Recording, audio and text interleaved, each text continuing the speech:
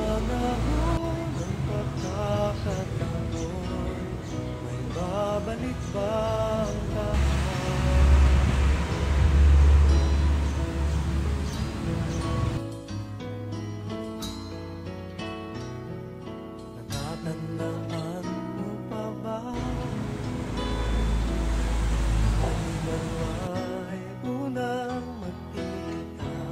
Tay naman, di mo naman maalala kung paano umuwi sa atin.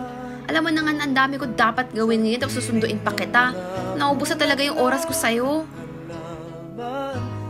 tayo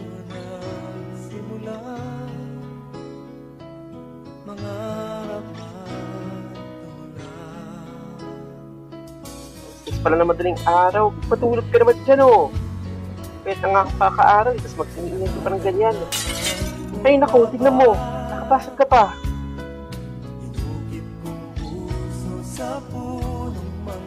Ano ba yan, Tay?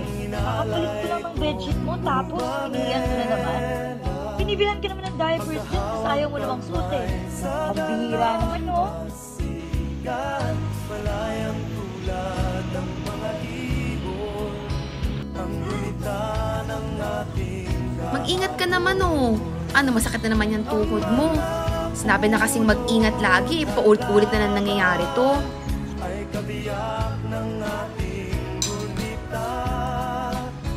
Sa paglipas ng panahon Bakit kailangan Tay, hindi mo naman inubos yung pagkain mo. Tignan mo, laki na ng pinapayat mo.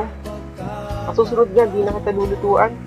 Maghanap ka na ng pagkain mo, gugutom ka na. Bahala ka dyan. Parang noon lang ako nag-aalaga nagtatrabaho para sa kanila. Baliktad na ngayon. Alam ko naman na sinusubukan ng pamilya ko na alagaan ako. Pero sa hirap ng buhay, mas madali na lang siguro kung mawala na ako.